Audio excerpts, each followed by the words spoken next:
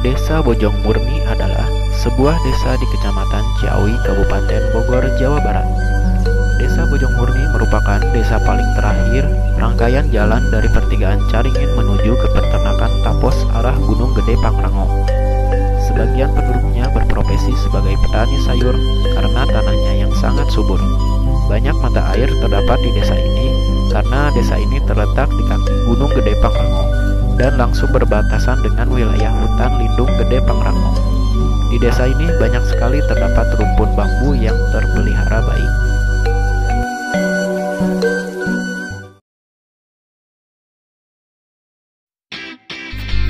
Di desa Bojong Murni juga terdapat posyandu yang berbatasan dengan desa Cudung.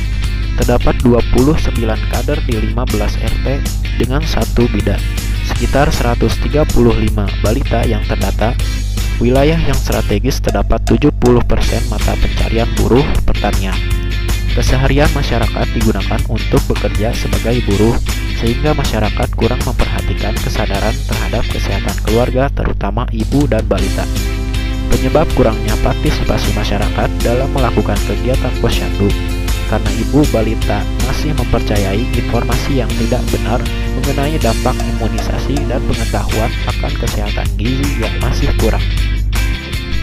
Peningkatan pengetahuan orang tua perlu diadakan kegiatan penyuluhan tentang pentingnya imunisasi bagi kesehatan gizi pada balita dan orang tua akan berbondong-bondong datang ke posyandu untuk mengimunisasikan anaknya.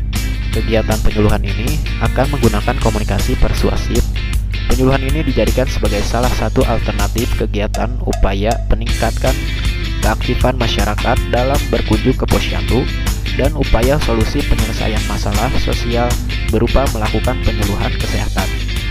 Kegiatan pengabdian kepada masyarakat ini yang berupa penyuluhan kesehatan gizi dan imunisasi pada balita bertujuan untuk mengedukasi masyarakat tentang pentingnya imunisasi dan gizi serta dapat mengunjungi posyandu dan ikut hadir di setiap kegiatan posyandu. Posyandu Mawar, mantap!